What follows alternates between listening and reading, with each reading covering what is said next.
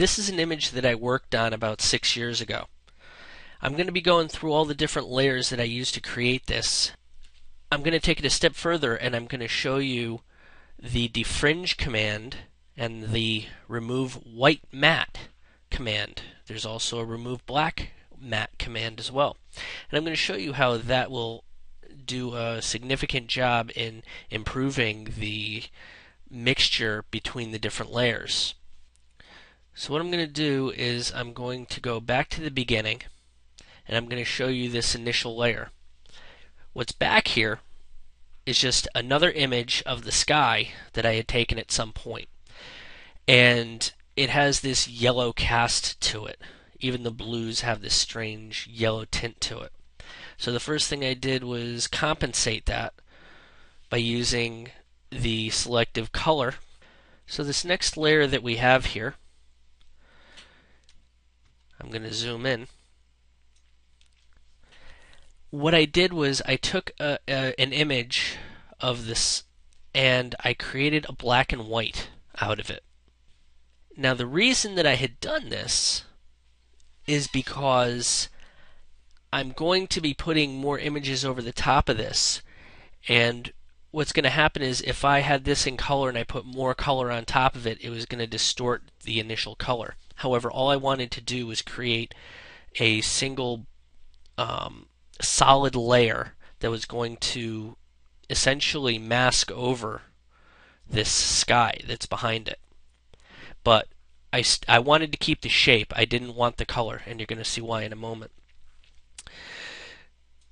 I also want to show you this white fringe that's going on here. And essentially, when I created the mask, and again, this was some six years ago, and there's other ways of approaching this now, but uh, a lot of the same thing is happening where Photoshop doesn't quite know what to do with this if you're using a magic wand or a brush or um, Mask Pro by ON1 software. But what I'm going to do or what I did was I then went up another layer of the same thing and I did a multiply of just the trees. Instead of having this white fringe, I then duplicated that layer with a multiply and what it did was it gave it this soft edge. I had probably feathered this or something and did a fill. Again, I have no idea specifically what I did at the time, but the intent to that was to add some weight to these trees. And even notice how there's a, a, a shift in, in density. Then the final layer that I put on the top of this was a multiply.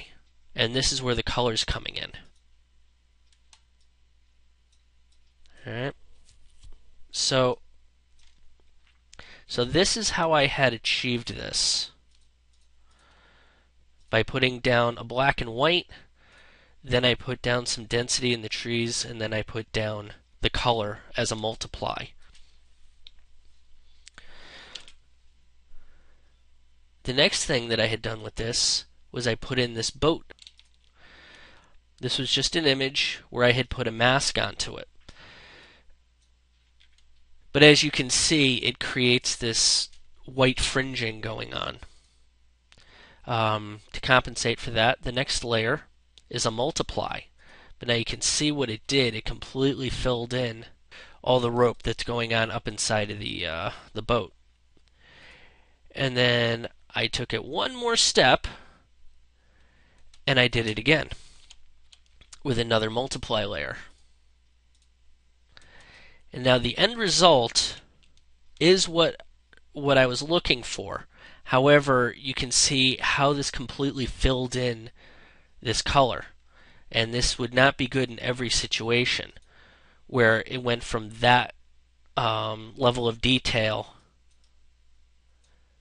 to that lack of detail because it's so dark. However, this whole image has a very ominous tone to it. So it worked out well in this case. And then I finished off the work on here down here, this layer just does a little patchwork and it add, added this. I think I was covering something up for some reason. and then I filled fixed it there.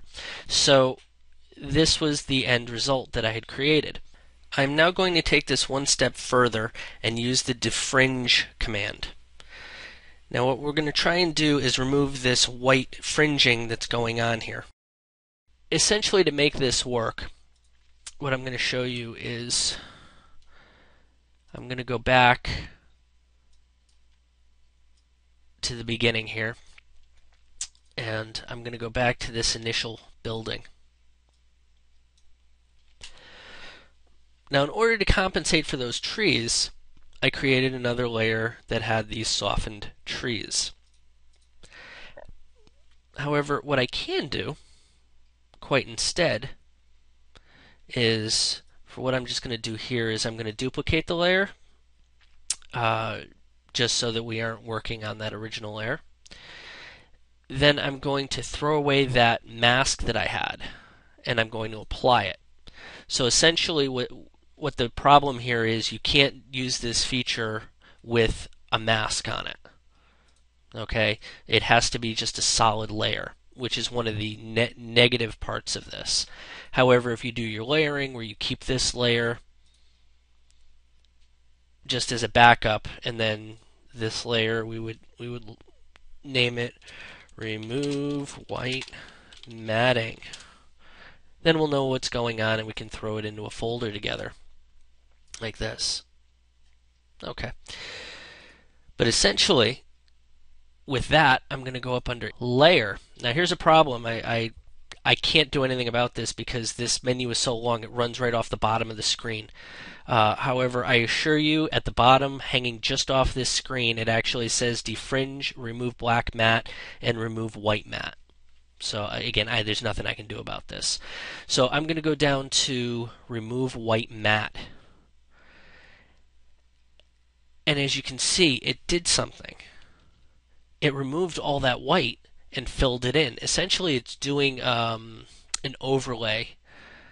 It's to do. It's doing a multiply. It's it's doing something. Um, but what happens is when I put that top layer over it, it's essentially doing what this other layer was trying to do. And I don't need that anymore because now it actually looks better than it did before. And to prove that, I'm going to do this. And what you see here, when I get in close, you can see that it, it it's kind of pixelated. I mean, it looks okay. It doesn't look like there's anything wrong with it.